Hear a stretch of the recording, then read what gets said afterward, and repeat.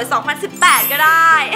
เพราะวันนี้ทางเราจะมาเล่าถึงวิธีการทำให้ผิวของเราเนี่ยกระจ่างใสให้ได้ภายใน 28 วันนะคะอะงงอะงงจังหวะนี้มีคนงงแล้วว่าพี่ไอ้ะพี่ใบหวยหรือเปล่าคะทำไมต้องเป็น 28 ด้วย คือพี่ไม่ได้ใบหวยหรอกแล้ว28 ไม่ได้เป็นเลขที่คิดขึ้นมาเองลอยๆนะคะ แต่ว่า 28 เนี่ยเป็นจำนวนวันที่ผิวของเราเนี่ยมันจะผลัดเซลล์ผิวตามธรรมชาตินะคะ คือแต่วันที่ 1 2 3 4 1 28 เนี่ยผิวมันจะผลัดครั้งหนึ่ง1 28 ผัดอีกครั้งหนึ่งเรียบแปดก็จะผัดอีกครั้งหนึ่งคือผิวของเรา มันจะมีการผัดเซลล์ผิวทุกๆ28 วันนะคะ ซึ่งนั่นคือการผลัดเซลล์ผิวตามธรรมชาติที่พวกเราทุกคนเนี่ยสามารถทำได้ผิวมันจะผลัดเองอัตโนมัติอยู่แล้วนะคะ แต่วันนี้ค่ะ ทางเรามีเทคนิคแล้วก็เคล็ดลับเล็กๆน้อยๆ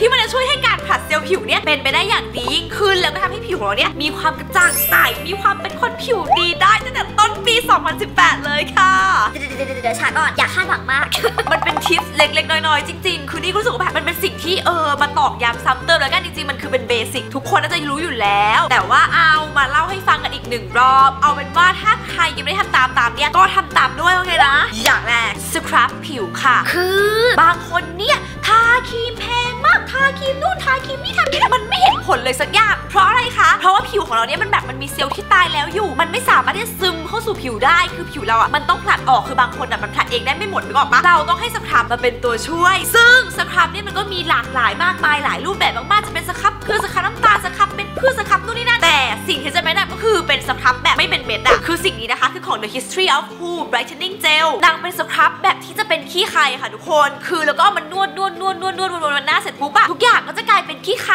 ติดอยู่ที่มือของเรา ซึ่งมันเป็นหนึ่งวิธีการสครับที่เป็นนวัตกรรมของความงามที่การสครับผิวไม่ต้องโหดร้ายกับผิว ไม่ต้องมีอะไรมาขูดกับผิวอีกต่อไป คือเป็นการว่าเป็นสครับแบบนุ่มๆนวลๆเหมือนกันขัดขี้ใครออกไปแทนนะคะ อันนี้ว่าก็สำคัญเพราะว่าอย่างที่บอกไปค่ะว่าผิวเรามันผ่าเซลล์ผิวได้เองอยู่แล้ว แต่บางคนเนี่ยด้วยอายุที่มากขึ้นด้วยปัจจัยอะไรหลาย ๆ อย่างอะบางทีผิวเรามันก็ผัดเองไม่ได้หมด เพราะฉะนั้นเราก็เอาสครับมาช่วยนะคะ แต่ขอฝากไว้นิดนึงนะคะว่าการเลือกใช้สครับเนี่ยก็ต้องดูสภาพผิวของเราด้วย ถ้าเกิดว่าผิวมันบอบบางแพ้ง่ายมากๆเนี่ยก็เลือกที่มันจะอ่อนโยนต่อผิวนะคะ อย่างต่อมาก็เป็นสิ่งที่สำคัญ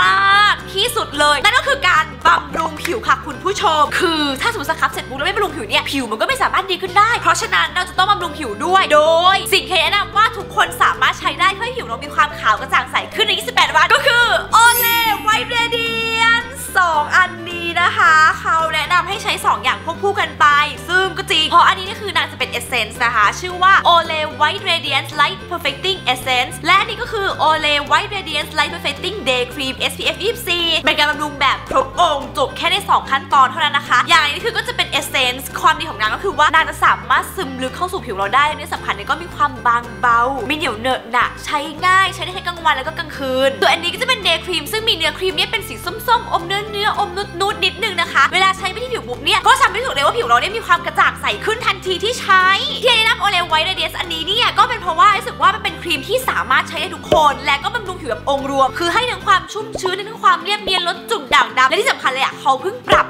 สูตรใหม่นะคะ เป็นสูตรที่จะช่วยผิวเราเนี่ยสามารถสว่างกระจ่างใสได้ขึ้นภายใน 28 วัน คือตอบโจทย์มากเวอร์นะคะแล้วอีกหนึ่งประเด็นที่สำคัญก็คือว่าราคาไม่แพงแล้วก็สามารถหาซื้อได้ง่ายตามท้องตลาดทั่วไปใครๆก็สามารถหาซื้อโอเลได้นะคะแล้วก็อีกหนึ่งอย่างก็คือไม่ค่อยเคยได้ยินว่าใครแพ้โอเลเท่าไหร่ได้ยินก็จะบอกว่าใช้โอเลแล้วดี คือไม่ค่อยยินใครบอกว่าแพ้นะคะ เพราะฉันก็เลยเป็นสิ่งที่แนะนำนะคะ ซึ่งทางเราก็ลองใช้นะคะ ก็คือไม่แพ้แล้วก็มันช่วยผิวของเรานี่มันค่อยๆขาวขึ้น อย่างที่บอกเขาว่ามันจะค่อยๆ ช่วยให้ผิวขาวขึ้นใน 28 วัน คือถ้าเกิดว่าใช้ต่อเนื่อง 28 วัน บวกกับ tips ดูไอซ์เนี่ย รับรองว่าผิวอะกระจ่างใสแน่ๆค่ะ เอาว่าแล้วก็ต่อกันที่ข้อต่อไปที่พึงกระทำที่สำคัญมากอีกเช่นกันก็คือการทาครีมกันแดดนั่นเองนะคะ ซึ่งจริงๆแล้วใช้เท่าไหร่ก็ได้เอาที่สบายใจเลยเอาที่รู้สึกว่าใช้แล้วมันแบบโอเคกับชีวิตอะจะถูกจะแพงจะแรงจะอ่อนจะยังไงก็ตามแต่ถ้าเกิดว่าใช้แล้วไม่เป็นครีมกันแดดอะเออใช้ไปเถอะแค่ขอร้องว่าขอให้ใช้ก็พอเพราะว่าแดดที่ประเทศไทยอะแรงมากเวอร์แต่ถ้าเกิดว่าถามไอซ์ให้แนะนำนะไอซ์ก็จะแนะนำยี่ห้อมิซูมิเพราะว่ามีราคาถูกแล้วก็เนื้อสัมผัสอะค่อนข้างจะโอเคเลย เป็นเนื้อน้ำนมน้ำนมสีขาวนะคะพอทาผิวแบบก็สามารถซึมเข้าสู่ผิวได้ง่าย สามารถแต่งหน้าตามต่อได้โดยที่หน้าของเราจะไม่มีความวอกนะ ซึ่งเขาก็มีคุณสมบัติตามครีมกันแดดทั่วไปนะคะมี SPF 50 บวกแล้วก็มี PA 4บวกเลยกันได้ทั้ง UVA แล้วก็ UVB อย่างที่สี่อันนี้